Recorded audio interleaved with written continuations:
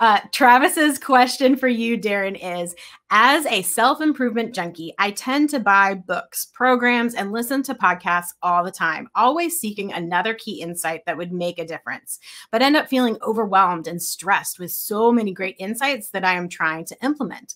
What would be your best practice to avoid self help and transition more to an efficient action mode of operation?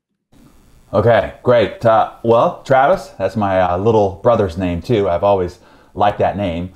So, Travis, and, and most everybody on with us right now, um, I can relate with your dilemma uh, for sure. Why? Because we're all we're all strivers. We're all self improvement minded. We're all committed to becoming better every day, right? So, any idea, any book, any podcast, any blog, any opportunity where we might learn something might give us an edge, might grow us forward, and we don't want to miss out on it. So we end up signing up for too many things, reading too many things, listening to too many things, and be, we become just awash in it all and do nothing with it.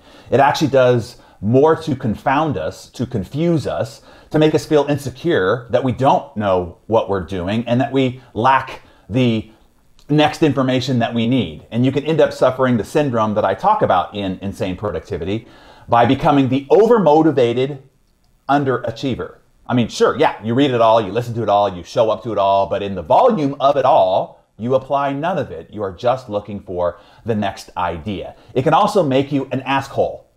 Somebody who keeps asking for ideas and new insights when they didn't do anything with the last one that you gave them. That makes someone an asshole. When I was building the first success focused television network, I was producing shows with all the top thought leaders of our day. I was listening to all their advice, reading their books, studying their materials, and I never felt more confused, overwhelmed, and stunted. It was actually quite paralyzing.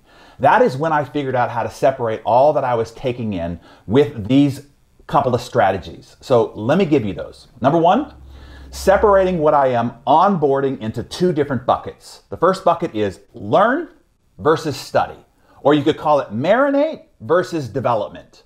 The learn or marinate bucket means that I could read, listen to, watch all sorts of things that I was interested in learning, but I it was just fodder to stimulate my mind, to illuminate my creativity, to inspire my spirit. It's kind of like what happens when you watch an inspiring movie or a documentary.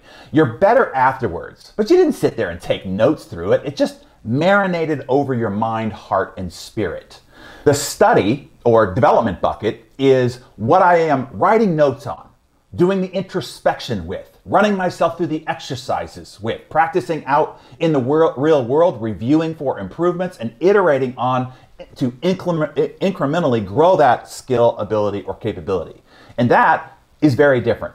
I'm not accountable uh, uh, for the application and results of the learning, but I am for the study. Does that make sense? It's kind of like what we do here on Darren Daily or even Darren Daily on Demand. It is more learning and marination. It is to ignite your mind, to inspire your spirit, to direct your consciousness and creative capacity for the day ahead. But there aren't any exercises or worksheets or results accountability reporting associated with it.